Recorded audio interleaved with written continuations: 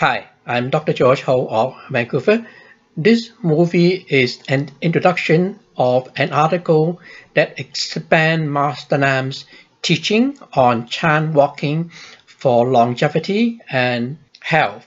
His instructions are a lot simpler than similar practices in Japan called Kinhin, which is characterized by a lot of rituals. His Chan walking combined the chanting of the name of Buddha and walk in a state of Chan ding or samadhi so that you do not feel you're walking at all. The instruction in yellow print are his instruction in Chinese that I have translated into English for you. Do not stump your feet as if you're a soldier marching and walk as if you're a cat trying to catch a mouse and then when you land your foot you land your foot as if there's a mountain on top of your head. While you're walking you chant the name of buddha amitabha detail of how to chant into Chan ding or samadhi has been well explained in the movie that I uploaded just before I uploaded this one and I'll put the link in the illustration. Here is the short demo.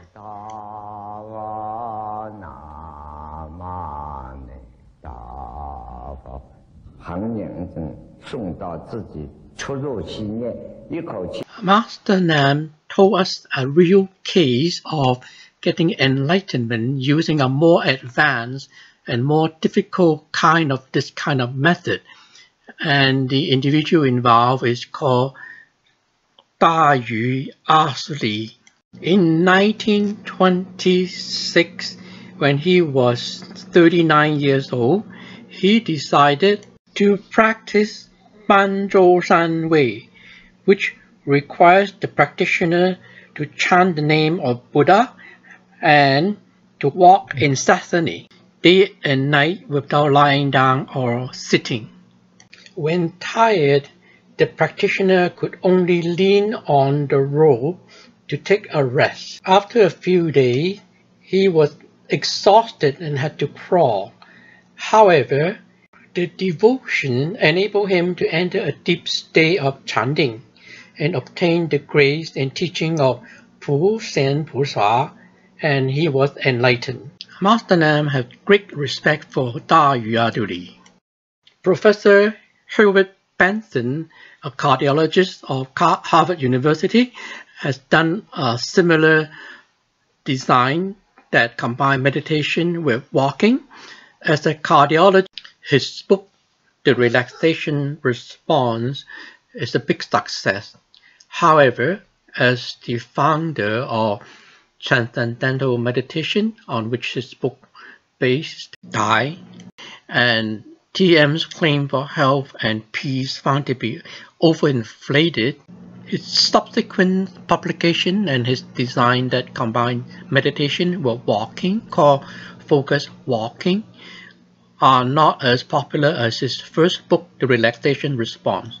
Dr. Benson did not know that Chan walking is the principle of Tai Chi applied into walking.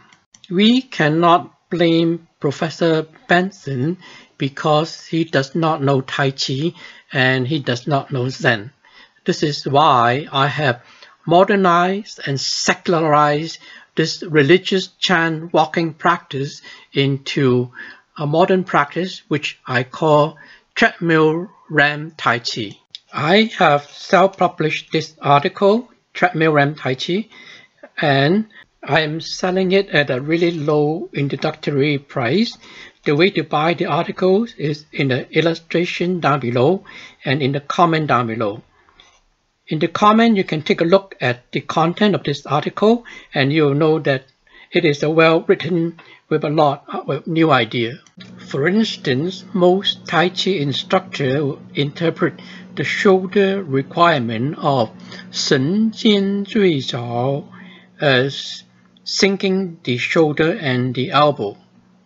This is just a literal translation and does not have too much meaning. In real application, in my treadmill RAM Tai Chi, this shoulder requirement is actually a manifestation of the Peng form of Tai Chi power, a just enough fuzzy logic kind of resistance to the gravitational pull and it helps and reinforces the rooting in doing Tai Chi and in doing Chan walking.